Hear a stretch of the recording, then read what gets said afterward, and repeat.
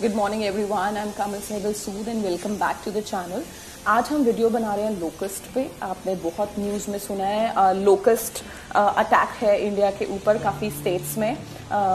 which have come in to our vegetation and several states in India are under attack from locust swarms they attack all sorts of vegetations including farms uh, now locusts are insects that can travel up to 150 km per day depending on which speed or can cause major damage अब ये बाहर में uh, तो हम बहुत ज़्यादा कुछ नहीं कर सकते कि हम पार्क्स में जाएं या वहाँ पे कुछ स्प्रे करें plus we are in lockdown also so we have limited resources regarding pesticides and fungicide so in this video we are going to try and use the home remedies जो हम अपने खुद की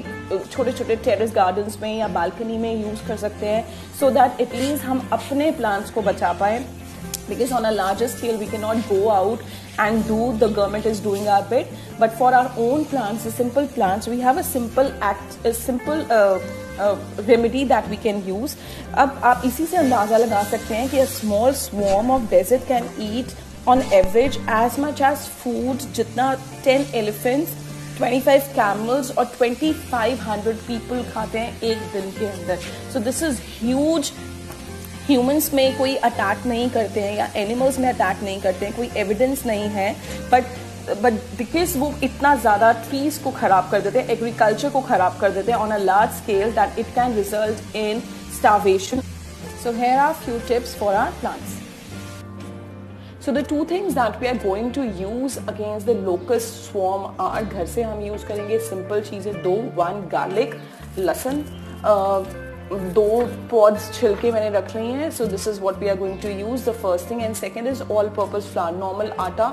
जो हम घर में खाते हैं. These are the two natural remedies that we can use in our plants which basically is going to deter the pest now garlic spray हम गार्लिक से गार्लिक स्प्रे बना लेंगे। कैसे बनाएँगे? आपने गार्लिक को छिल लिया है। उसके बाद this garlic two pots of garlic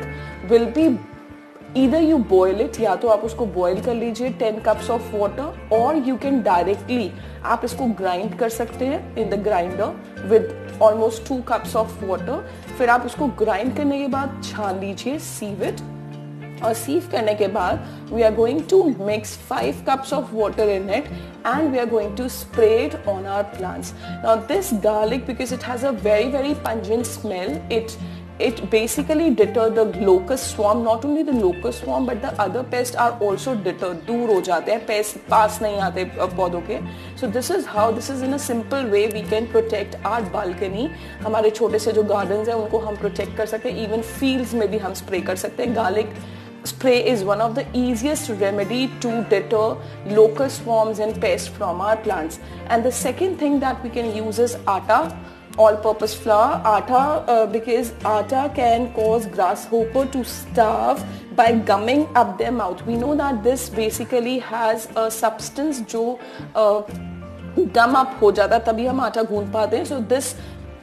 चिपचिपा है और जब हम गूंदते हैं so when we are going to put it little little हम उसको स्प्रिंकल करेंगे अपने प्लांट्स के ऊपर if the locust swarms attack और the grasshoppers attack their mouths will be gummed up ये इसकी वजह से